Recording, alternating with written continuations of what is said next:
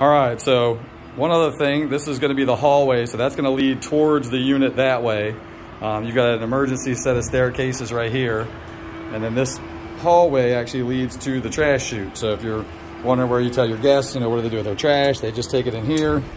Most people don't show you this, but pop that bad boy open and you throw your trash in there. And again, it kind of gives you an idea about trash, you know, no dumping, you know, big items, that kind of stuff. And for a trash chute area, that's actually pretty clean. I've seen those where they are quite disgusting. Um, but while you're walking down the trash chute, here is the view, for instance, you know, just walking, you know, out on the balcony here area, you can see that all the way down there, that's gonna be actually Garden City. So from this unit, you can basically see Garden City all the way to the beach and you can kind of see that the curvature, you know, of the coastline there as it kind of curves.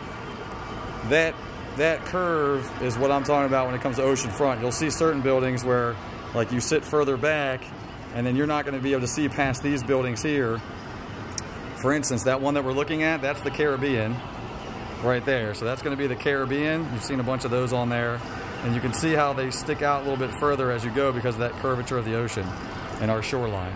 So when it comes to actual, actual ocean front, that's what I'm talking about, where you are literally on the beach and being able to see both the north and the south direction, uh, which this unit you can. So, and then just kind of show you a little bit back.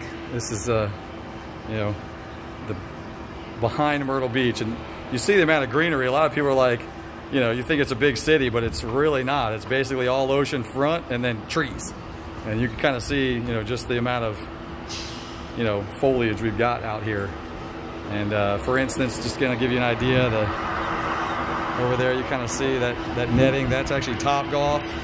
And that's gonna be Broadway at the beach. You can see a plane going in over there. You can see the Ferris wheel, that's actually Broadway at the beach right there. So you're not really that far even up here, you know, from that area of, you know, what I would call all the happenings, so to speak. So, alrighty, we'll send it to you soon.